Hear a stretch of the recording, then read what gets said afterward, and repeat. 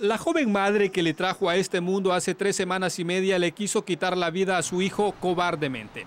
Según dijo Isaac, su pareja sentimental, quien explicó que después de una discusión la mujer intentó desquitarse con el inocente bebé. Lo apretó con sus, con sus manos, lo apretó lo, con sus brazos, lo apretó y lo trató de ahorcar, pero no la dejé. ¿Pero por qué inició el pleito? Isaac asegura que llegó de trabajar y encontró a su acompañante dormida en el interior de estos apartamentos y en aparente estado de ebriedad, mientras el bebé lloraba y lloraba. La metía que se bañara con agua fría y tampoco fue lo mismo, no respondía hasta como los 20 minutos que respondió.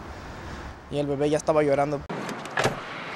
La madre, identificada como Daisy Alfaro de 20 años de edad, fue arrestada bajo la sospecha de abuso infantil luego que el niño fue trasladado al hospital. Todo ocurrió en este apartamento ubicado en el bloque 6500 y Boulevard Sepúlveda de la ciudad de Banais. Los vecinos no lo pueden creer, aunque la policía ya tenía reportes de que la joven había tenido problemas legales hace dos años.